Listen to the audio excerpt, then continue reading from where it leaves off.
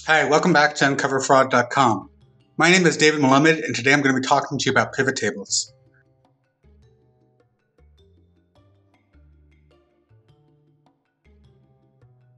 I am a forensic accountant and fraud investigation expert with over 20 years' experience. And one of the things that I get asked quite a bit is what is it, Dave, that you use to do your data analysis? And there's a lot of tools out there, don't get me wrong, but my number one go to is Excel and pivot tables. Pivot tables really let you summarize an entire spreadsheet that's flat into almost a 3D model. I'm going to teach you how to do that.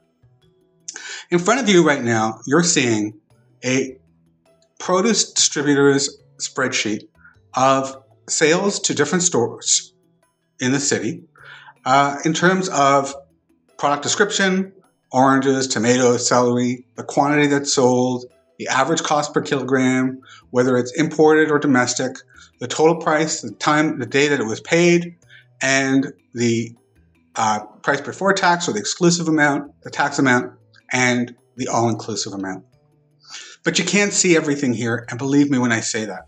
So let's first highlight all of the columns.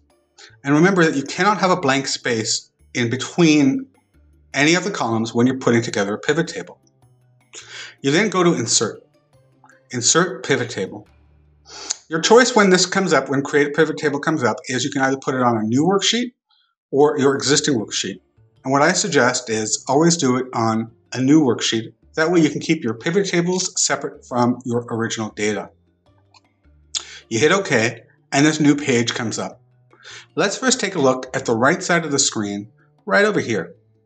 We can see that each column now has a line item, as well as there are four boxes, the filters, the columns, the rows, and the values. Let's first add something to rows. And what I want to add here is my product description. My product description now comes up on my left side as apple, carrot, celery, grape, orange, pear, tomato. If I want to see how many times that appears a sale for each of those items to each of the customers, I can simply grab the product description, put it into my values where it says count, and I can see that, the, that most of them have five entries, except for oranges have six. Now, what happens if I want to see which customers order?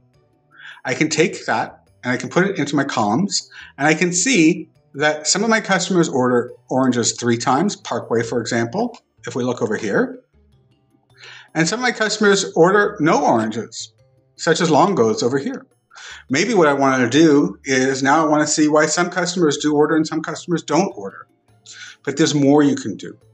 When I say there's more you can do, if you want, instead of having the customers lining the top, you can take the customers and you can pull them over here, the product over here, and you've got the same analysis, but now you're looking at it by customer, and across the screen, you're looking at by item or the description of the item.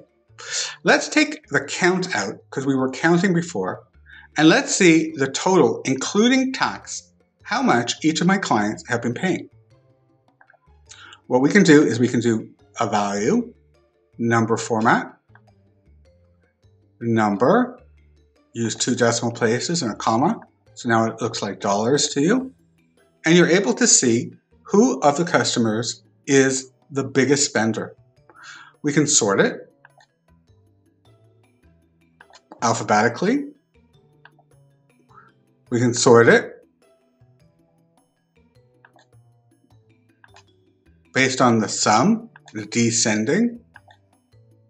And now you see, oh, and we can also get rid of the blank spot.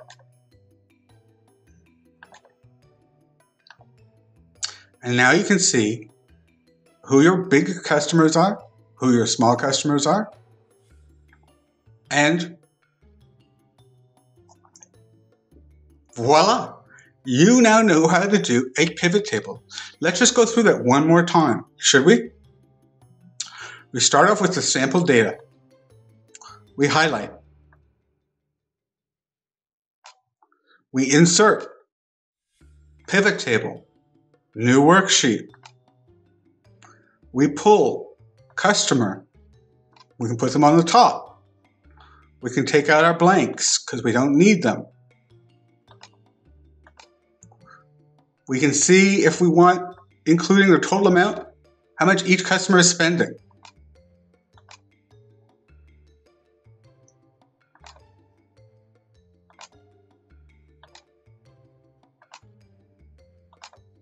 And from doing this analysis, we're able to tell straight away that CVS is our smallest customer and No Frills is our largest customer. This is such powerful data and such powerful information for you. Let me show you one more thing. If by any chance I'm looking at, and here's where the fraud comes in or error comes in, if I'm looking at the invoice numbers and I put them in the rows, I can see that my invoice numbers, and let's just do a quick look down. One invoice number at the bottom has a different sequence than the others because it has an A at the end. My question is, do you need to go and look at that data?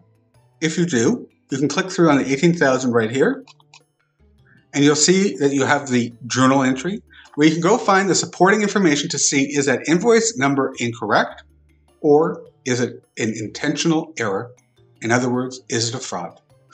Again, my name is David Malamed, and I'm a forensic accountant and fraud investigation expert. To find out more about me and the services we offer, please visit uncoverfraud.com.